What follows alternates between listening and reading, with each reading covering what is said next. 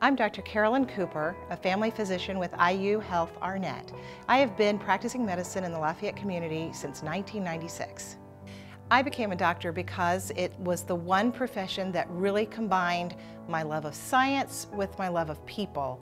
I felt like I could really uh, use the things that I had studied in college uh, moving forward uh, to study medicine um, and still have a job where I could interact with people on a daily basis.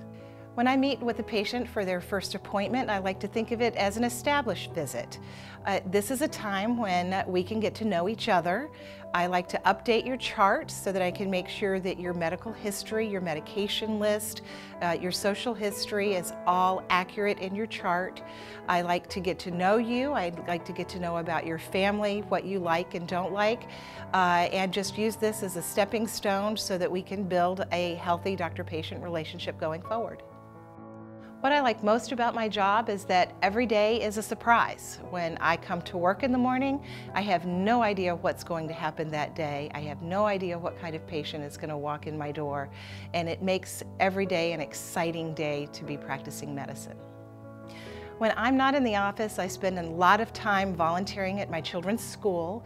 I have spent three years as the president of the Lafayette Jefferson Band Boosters, which is uh, almost like a second job. I also am on the board of the Tippecanoe Chamber Music Society uh, and spend a lot of time with my daughter and all of her equestrian activities.